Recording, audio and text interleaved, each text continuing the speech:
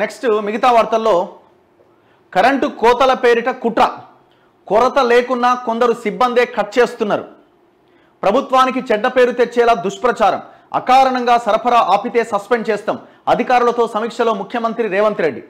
ఇది ఈ ఈ వార్తలో కొంత వాస్తవం ఉన్నది. ముఖ్యమంత్రి మనలాంటి వాళ్ళు ముందు నుంచి చెప్తున్నారు ఏంటంటే వీళ్ళకు కూడా హెచ్చరికలు చేస్తున్నాం. ముఖ్యమంత్రితో పాటు రాష్ట్ర ప్రభుత్వంలో ఉన్న వాళ్ళు కూడా మనం ముందు నుంచి హెచ్చరిక చేస్తున్నాం. మీరు జాగ్రత్తగా ఉండండి. మీరు ఏ దొంగలైతే ఈ ఈ ప్రజలని మోసం చేసినారో అదే దొంగలను మీరు పక్కన పెట్టుకొని వ్యవహారాలు నడిపిస్తున్నారు.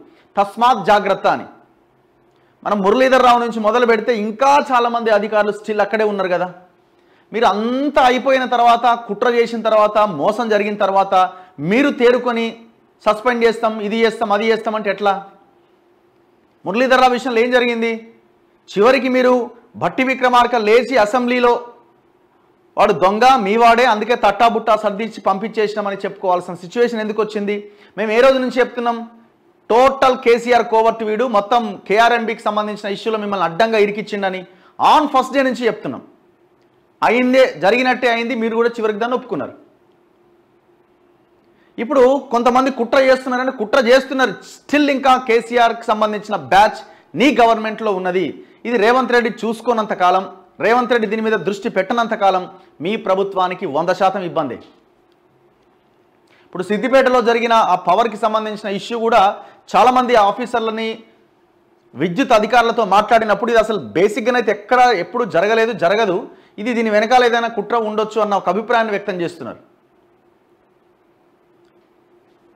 వాళ్ళ వాళ్ళ వాళ్ళ టార్గెట్ సింపుల్ అండి. వాళ్ళ టార్గెట్ ఒకటి ఏంటంటే పవర్ అండ్ వాటర్ విషయంలో ప్రజలను ఇబ్బందులకు గురి చేస్తే ఈ రెండింటిలో గురి చేస్తే రేపటి ఎలక్షన్స్లో వాళ్ళకి సీట్లు రాకుండా ఉంటుంది ప్రభుత్వం మీద వ్యతిరేకత ఇంకా పెరుగుతుంది అన్న కోణంలో వాళ్ళు ఆలోచిస్తున్నారు.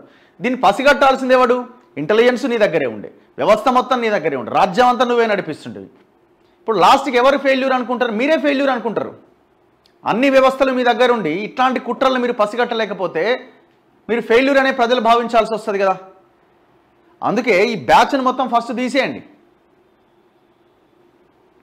రాష్ట్రంలో ఎక్కడైనా అకారణంగా విద్యుత్ సరఫరాకు అంతరాయం కలిగితే అందుకు బాధ్యులైన అధికారులు సిబ్బందిపైన కఠిన చర్యలు తీసుకుంటామని ముఖ్యమంత్రి రేవంత్ రెడ్డి హెచ్చరించారు. అలాంటి వారిని అవసరమైతే సస్పెండ్ చేస్తామన్నారు. విద్యుత్ సరఫరాపై ఆయన గురువారం సచివాలయంలో ఆ శాఖ అధికారులతో సమీక్షించారు. ప్రభుత్వానికి చెడ్డ పేరు తెచ్చేందుకు విద్యుత్ పైన దుష్ప్రచారం చేసేందుకు కొందరు కుట్రలు పన్నుతున్నట్లు తమ దృష్టికొచ్చిందని సీఎం పేర్కొన్నారు. బీఆర్ఎస్ హయాంలో నియమితులైన కొందరు క్షేత్రస్థాయి సిబ్బంది ప్రభుత్వాన్ని అప్రతిష్ట పాలు చేసేందుకు ఉద్దేశపూర్వకంగా కోతలు పెడుతున్నారనే సమాచారం తమ తమకు ఉందని తెలిపారు. ఇప్పుడు మీరు వెయ్యికి పైన అధికారులు రిటైర్డ్ అధికారులు ఉన్నారని తేల్చినారు కదా. ఎన్ని రోజులకు నిర్ణయం తీసుకున్నారండి వాళ్ళందరినీ తొలగించే ప్రక్రియ? ఎప్పుడైతుంది అది? ఎప్పుడు శాంతి కుమారి సిఎస్ ఆమె హెచ్ఓడీలను రిపోర్ట్ అడిగింది? ఓ దానికి మళ్ళీ మళ్ళీ ఆగమాగం ఆగ మేఘాల మీద రిపోర్ట్ అడిగారు. ఏం చర్యలు తీసుకున్నారు?